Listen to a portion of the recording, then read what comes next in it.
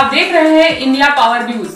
मैं हूँ आपके साथ प्रभा वाजपेयी। युवा जन कल्याण समिति ने मनाया परशुराम की जयंती।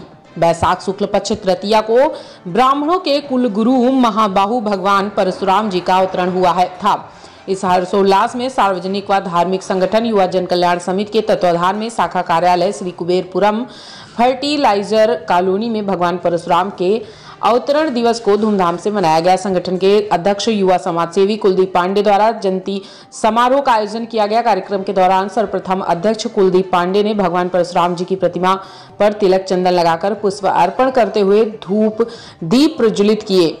तथा परशुराम जी से विश्व व राष्ट्र की रक्षार्थ हेतु कामना किया। कुलदीप पांडे ने परशुराम जी की कृतियों पर प्रकाश डालते हुए कहा कि भगवान विष्णु के अवेशातार छठे अवतार हैं।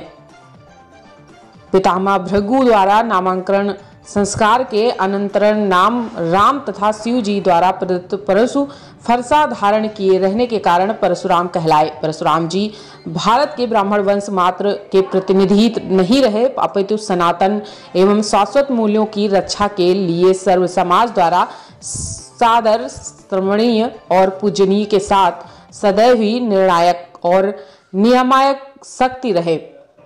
भगवान परशुराम जी चिरंजीवी हैं। इस दौरान मुख्य रूप से कुलदीप पांडे, विनोद तिवारी, शैलेश चौबे, मनमोहन दुबे, सर्वेश पांडे, हरिशंकर तिवारी, अमरनाथ मिश्रा, धर्मेंद्र श्रीवास्तव, पवन जायसवाल, मनोज शुक्ला जय किशन पांडे आदि ने भगवान परशुराम जी की प्रतिमा पर पुष्प अर्पित कर और उन्हें जन कल्याण हेतु प्रार्थना किया। आज भगवान परशुराम जी के दिवस पे तृतीया के पावन पर्व पे सभी ब्राह्मण के